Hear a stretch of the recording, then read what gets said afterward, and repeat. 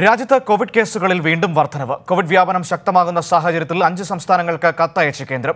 Covid വ്യാപനം തടയാൻ അടിയന്തര നടപടികൾ സ്വീകരിക്കണമെന്നും കേന്ദ്രം നിർദ്ദേശിച്ചു. ഒരിടവേളയ്ക്ക് ശേഷം രാജ്യത്ത് വീണ്ടും കോവിഡ് കേസുകളുടെ എണ്ണം ഉയരുന്നു. കഴിഞ്ഞ ഇരുപത്തിനാല് മണിക്കൂറിനിടെ മൂവായിരത്തി തൊള്ളായിരത്തി അറുപത്തിരണ്ട് പേർക്കാണ് കോവിഡ് സ്ഥിരീകരിച്ചത്. കോവിഡ് മൂലം ഇരുപത്തി മരണം കൂടി റിപ്പോർട്ട് ചെയ്തു. നിലവിൽ ഇരുപത്തിരണ്ടായിരത്തി നാനൂറ്റി പതിനാറ് പേരാണ് ചികിത്സയിലുള്ളത്. മൂന്ന് മാസത്തിനിടെയുള്ള ഏറ്റവും കൂടിയ പ്രതിദിന കണക്കാണ് ഇന്നലെ റിപ്പോർട്ട് ചെയ്തത്. ഇന്നലെ രാജ്യത്ത് നാലായിരത്തി നാൽപ്പത്തൊന്ന് കേസുകൾ റിപ്പോർട്ട് ചെയ്തിരുന്നു. കോവിഡ് കേസുകൾ വർദ്ധിക്കുന്ന സാഹചര്യത്തിൽ കേരളമടക്കം അഞ്ച് സംസ്ഥാനങ്ങൾക്ക് കേന്ദ്ര ആരോഗ്യമന്ത്രി രാജേഷ് ഭൂഷൺ കത്തയച്ചു.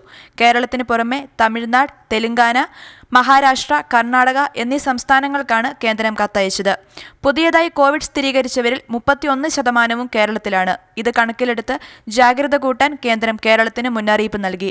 കേരളത്തിൽ പതിനൊന്ന് ജില്ലകളിൽ രോഗികളുടെ എണ്ണം ഉയരുന്നതിൽ കേന്ദ്രം ആശങ്ക അറിയിച്ചിട്ടുണ്ട്. മഹാരാഷ്ട്രയിൽ ആറ് ജില്ലകളിലും തമിഴ്നാട്ടിൽ രണ്ട് ജില്ലകളിലും രോഗബാധിതരുടെ എണ്ണം കൂടുന്നത് ശ്രദ്ധിക്കണമെന്നും കേന്ദ്രം മുന്നറിയിപ്പ് നൽകി. പരിശോധനകളുടെ എണ്ണം കൂട്ടി രോഗം സ്ഥിരീകരിച്ചവരുടെ ക്വാറന്റൈൻ ഉറപ്പാക്കാനാണ് സംസ്ഥാനങ്ങളോട് ആരോഗ്യ മന്ത്രാലയം ആവശ്യപ്പെട്ടിരിക്കുന്നത്. കോവിഡ് കേസുകൾ തടയാൻ കേന്ദ്രം പുറത്തിറക്കിയ മാർഗനിർദ്ദേശങ്ങൾ കർശനമായി പാലിക്കണമെന്നും നിരീക്ഷണം ശക്തമാക്കാനും കേന്ദ്രം കത്തിൽ നിർദ്ദേശിച്ചിട്ടുണ്ട്. കൈരളി ന്യൂസ് ദില്ലി.